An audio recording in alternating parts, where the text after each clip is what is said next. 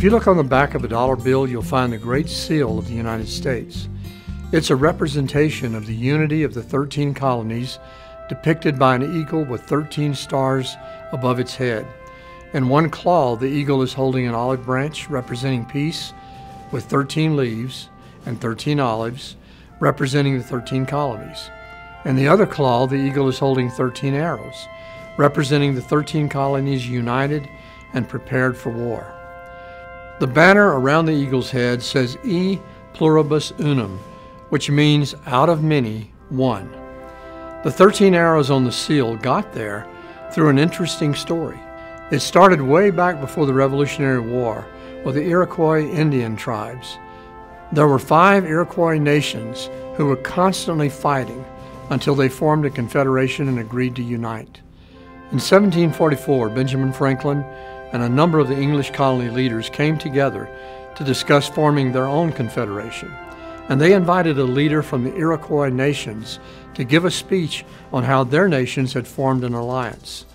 Franklin printed the speech and it became a catalyst for the unity between the 13 colonies. The leader used an old Indian story to illustrate their need for unity. He told about an Indian chief who had six sons that were always fighting. The chief called his sons together and gave each one of them an arrow and told them to break it in two. Of course, all six sons easily broke the arrow that he gave them. He then took six more arrows and bound them together and told each son to take turns trying to break the bundle of arrows. None of them could. Of course, his message evolved into the famous patriotic line United we stand, divided we fall. Because of this great Indian leader's influence, and especially because of his story, the 13 arrows became a permanent part of the Great Seal of the United States of America.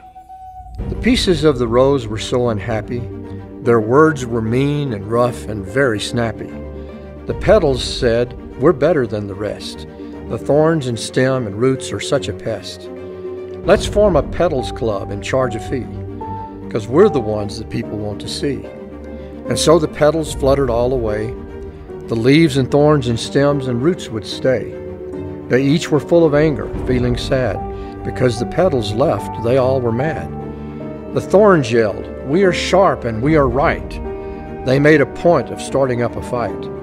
The stem said, Through the storm, the wind, the weather, I'm the one who holds us all together. The roots said to the stem, You're not so great. You're skinny and your view is just too straight.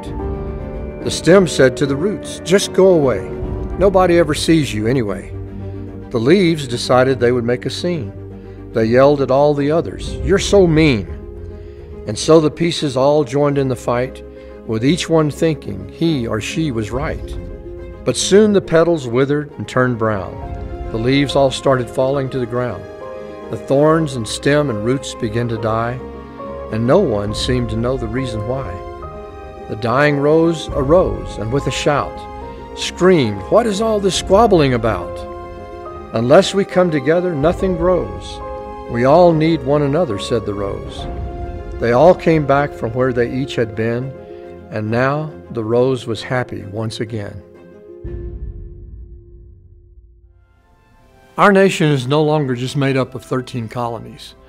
We're made up of Democrats, Republicans, Independents, Protestants, Catholics, and atheists, black and white and brown people from every nationality. We're a melting pot of diversity, but we still are one nation.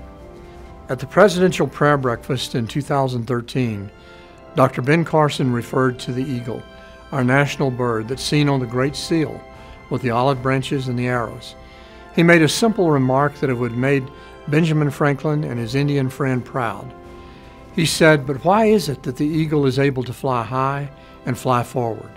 It's because it has two wings, a left wing and a right wing. Enough said. Every time I quote the Pledge of Allegiance at a ball game, a concert, or a conference, I always get chills when we come to the part that says, One nation, under God, indivisible, with liberty and justice for all. Let the rose be the rose, with its petals, the stem, its thorns, its stalk, and its roots. Without the harmony of all those parts, there would be no rose.